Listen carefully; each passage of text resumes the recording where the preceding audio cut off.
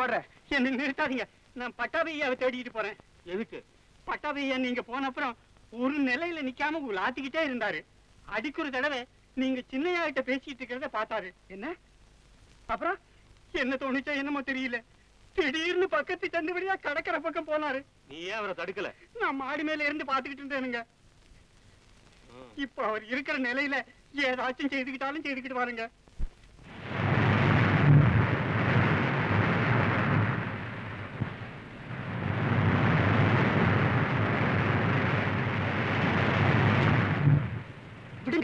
என்ன ஏன் பிடிக்கிறீங்க? நீ தற்கொலை செய்துக்கலாம்னு யோசிக்கிறல்ல? ஏன்? கூடாதோ? அது சட்டவிரோதம். சாக போறவனுக்கு சட்டம் என்னய்யா சட்டம்? ஆமா. உனக்கு என்னத்துக்கு சட்டம்? நீ சாகடிச்சவன்ல? சாகடிச்சவனா? நானா? அண்ணனை சாகடிச்சிட்டு தண்ணியில விடுறானா முதல்ல இந்த கொலையை பத்தி உன் வாக்குமூலத்தை கொடு. நீங்க சொல்றது எனக்கு ஒண்ணும் புரியலையே. நீங்க ராஜனை கொண்டுட்டீங்கன்னு இன்ஸ்பெக்டர் அபிப்பிராயப்படுறார். அது போய் அப்ப நிஜத்தை சொல்லுங்க. கொலை செய்யாட்டி ஏன் ஏன் தண்ணியில விடுறதுக்காக இங்க வர்ற? எங்களுக்கு விஷயம் தெரிஞ்சிட்டதுங்கிற பயத்தினால தானே இங்க ஓடி வந்த எனக்கு வாய்க்கு வெறுத்து போச்சு. வீட்டுல பெஞ்சாதி பிள்ளை எல்லாம் இருக்காங்க. இவருக்கு வாழ்க்கை வெறுத்துட்டுதாமே பஞ்சாத் அவ பேச்ச கேட்டதுனாலதான் எங்க அண்ணனுடைய அருமை தெரிஞ்சுக்காம நடந்துக்கிட்டேன். சரி சரி வீட்டுக்கு வா. நான் வீட்டுக்கு வரமாட்டேன். உன்னை இங்க தனியா விட மாட்டோம். என்ன வேற எங்க வேணுமானாலும் அழைச்சிட்டு போங்க. நான் தூக்கு மேடைக்கும் வர தயார். நீங்க முதல்ல உங்க வீட்டுக்கு தான் போகணும். வேண்டாம். நான் அனுபவிப்பது போரும். என் வேதனை அதிகம் கிளறாதீங்க. எங்க அண்ணன் இறக்கறதுக்கு காரணமா இருந்த அந்த பாவி இருக்கிற இடத்துக்கு என்ன அழைச்சிட்டு போகாதீங்க இன்ஸ்பெக்டர். என்ன இறக்கறதுக்கு காரணமா இருந்த பாப்பியா அது யாரு? நான் சொல்ல மாட்டேன். நீங்க என்ன என்ன வேணுமானா செய்துக்கலாம். நான் சாக துணிச்சவன் ஆஹா நான் சொல்லவே மாட்டேன். வாக்குப்பிரிவினை விஷயமா உங்களுக்கு உங்க அண்ணனுக்கு அடிக்கடி சச்சரவு ஏற்பட்டது இல்ல ஒரு சமயம் இது விஷயமா? உங்க வீட்டு கொல்லப்புறத்து கார் ஷெட்ல உனக்கு அண்ணனுக்கு ஒரு பலத்த சச்சரவு ஏற்பட்டது இல்ல நிரம்ப பொறுத்தவன் கோபம் நெருப்புங்கிறத மறக்காதே. என் காரியத்தை முடிக்க என் உயிரானாலும் சரி உன் உயிரானாலும் சரி ஒரு கை பாத்துறேன் நீங்க சொன்னது உண்டா இல்லையா? இது யார் உங்களுக்கு சொன்னது? யார் சொன்னா என்ன? நீங்க இப்ப சொன்னீங்களே உங்க அண்ணன் இறப்பதற்கு காரணமாயிருந்த பாபின்னு. அந்த புண்ணியாத்மா தான் இதை சொன்னது. சரிதான். ஹேமா தான் சொல்லியிருக்கணும். ஹேமா சொல்லாட்டி? நான் இங்க வந்திருக்கேன்னு உங்களுக்கு எப்படி தெரியும்? நீங்க சொன்னது சென் பர்சன்ட் கரெக்ட் செய்யறதையும் செய்துட்டு என் மேல வேற பழிய போட்டாளா? கார் தகராறுக்கு மறுநாள் டைனிங் ஹால்ல நடந்த தகராற பத்தி அவ உங்ககிட்ட ஒண்ணும் சொல்லலையா? அத நீங்க தான் சொல்லுங்களேன். சொல்றேன். நிச்சயம் சொல்றேன். எங்க அண்ணனுடைய ஆத்மா சாந்தி அடைவதற்காகவாவது சொல்லித்தான் தீர்வேன். எங்க அண்ணன் குடும்பம் மாடியில தான் குடியிருக்கிறதுனாலும் நாங்க எல்லாரும் சேர்ந்து கீழே தான் சாப்பிடுறது வழக்கம். அன்னைக்கு ராத்திரி நான் டைனிங் ஹால் பக்கத்தரையில பேப்பர் படிச்சுக்கிட்டு இருந்தேன். எங்க அண்ணன் வழக்கத்துக்கு விரோதமா சீக்கிரமே சாப்பிட வந்துட்டாரு. உஷா உஷா. சாப்பாடு கொண்டா. அக்கா வீட்ல இல்ல. கடைக்கு போயிருக்காங்க. தனக்கு புடவை வாங்கிட்டு வர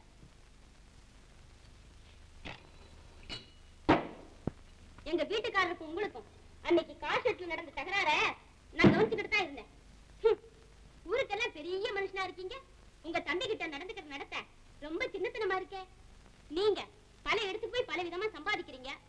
உங்க மாதிரி உங்க தம்பி சாமர்த்தியக்காரரா அவர் அப்பா வச்சுட்டு போன தவிர அவருக்கு வேற என்ன இருக்கு? நீதான் இருக்கிய. போதாதா?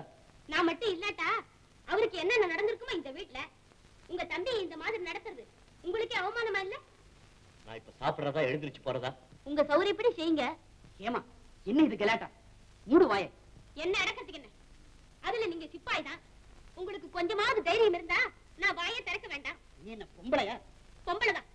ஆனா ஆன்மை உள்ளவள். போரும் போ. ராட்சசி. ஆமா. ராட்சசன் தம்பி பெஞ்சாதி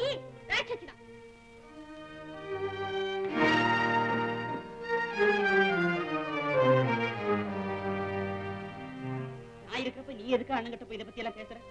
அவனுக்கு ஒரு மரியாதை வேண்டாம். இவ்வளவு வருஷம் மரியாதை காண்பிச்சு உங்களால என்ன செய்ய முடிஞ்சது? உங்க அண்ணி கூட உங்க அண்ணங்கிட்ட இதை பத்தி காட்டாளாம். அவரு சம்பந்தப்பட்டவங்களே பேசாம இருக்கிறப்போ நீ யாருன்னு தரான் அதுக்காகத்தான் நான் இன்னைக்கு கேட்டேன். சம்பந்தப்பட்டவதானே நான்? கேக்குறதுன்னா இப்படியா பேசுறது? கொஞ்சம் பொறுத்து தான் போகணும். உங்க அண்ணா கிட்ட பொறுத்தா ஒண்ணும் நடக்காது. எல்லாம் அறுத்துக்கிட்டா தான் நடக்கும். இப்பவே ஊரெல்லாம் பேசி பேசுறாங்க ஜப்பான்காரன் குண்டு போட போறான்னு. நாளைக்கு குண்டு போட்ட அப்புறம் உங்க அண்ணா எங்கேயாவது கல்கத்தா பம்பாயின்னு போயிட்டாருன்னா அப்புறம் யார்கிட்ட போய் நாம கேக்குறது? நீங்க கவலைப்படலனாலும் என் குழந்தைய வித்தேச்சு நான் கவலைப்பட்டு தானே ஆகணும். இப்ப சண்டை போட்டு என்ன சாதிச்சு? சாதிக்காமையா போறேன் எல்லாரையும் போல இல்லனா. நான் மனசு வச்சேன்னா காரியத்தை முடிச்சே தீருவேன். ஆமா நான் மனசு வச்சேன்னா காரியத்தை முடிச்சே தீருவேன். ஏமா என்ன இது? ஏமா பைத்தியம் பிடிச்சிட்டு என்ன? கோபம்னா அளவு வேண்டாம். அடங்கி கிடக்கிறதுக்கு மட்டும் ஒரு அளவு கிடையாது. ஒன்னா மட்டும் உங்களை இன்னொரு தடவை ஏமாத்தட்டும். அப்புறம் பாருங்க இந்த ஹேமாவை.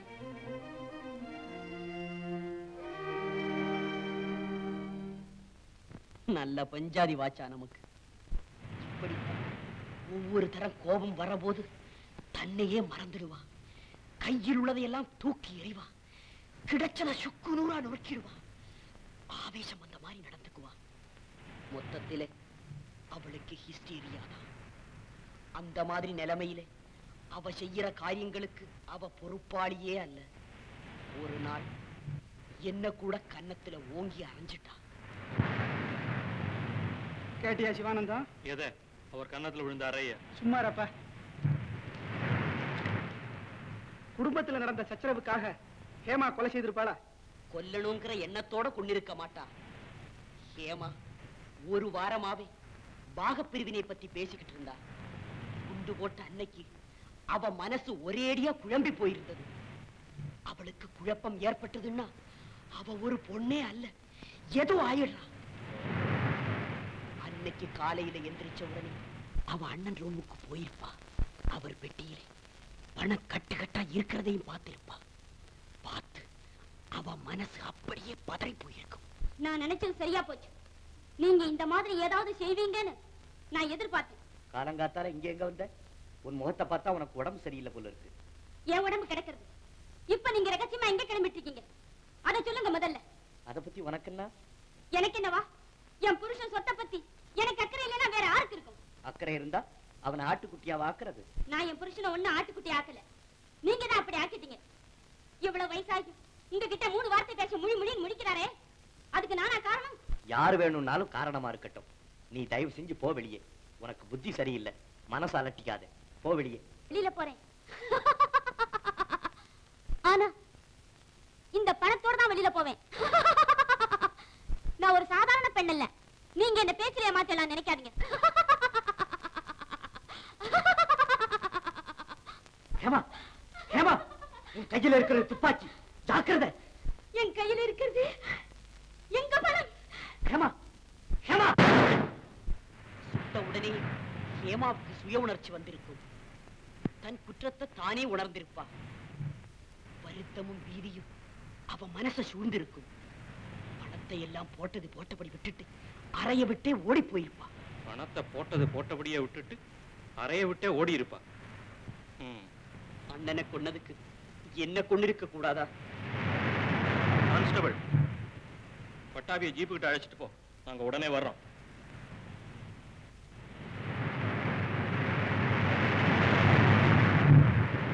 சே சே சே சே கேஸே குழம்பிட்டுதப்பா இல்ல இப்பதான் சுவாரஸ்யம் தட்டுது. இப்பதானே கேஸுக்கு ஒரு லேடி வில்லன் வந்திருக்கா? சும்மா விளையாடாதேப்பா. நாம சட்டத்தின் சேவகர்கள் என்பதை மறந்து பேசுறீங்க. மன்னிச்சிடு நாயுடு. இவ்வளவு நாள் பழகி என் குணம் உனக்கு தெரியாதா? கமிங் டு பிசினஸ் நீ நேரா ஸ்டேஷனுக்கு போய் பட்டாபியினுடைய வாக்குமூலத்தை வாங்கி பதிய வச்சுக்க. அப்ப நீ? நான் நேரா போய் ஹேமாவை விசாரிக்கிறேன். நீயும் சீக்கிரமா இங்க வந்துரு.